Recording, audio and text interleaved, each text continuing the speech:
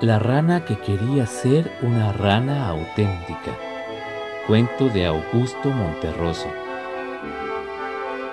Había una vez una rana que quería ser una rana auténtica y todos los días se esforzaba en ello.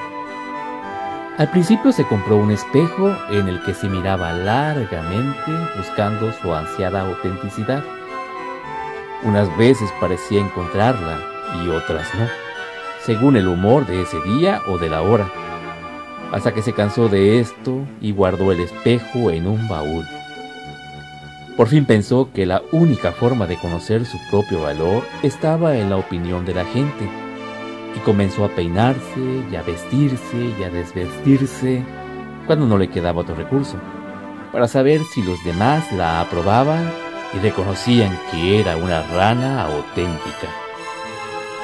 Un día observó que lo que más admiraban de ella era su cuerpo, especialmente sus piernas, de manera que se dedicó a hacer sentadillas y a saltar para tener unas ancas cada vez mejores, y sentía que todos la aplaudían.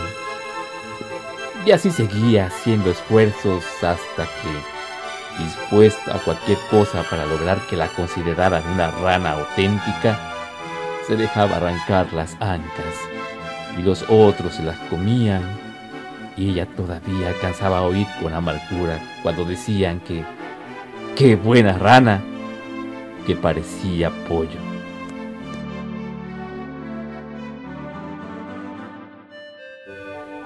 La rana que quería ser una rana auténtica. Cuento de Augusto Monterroso.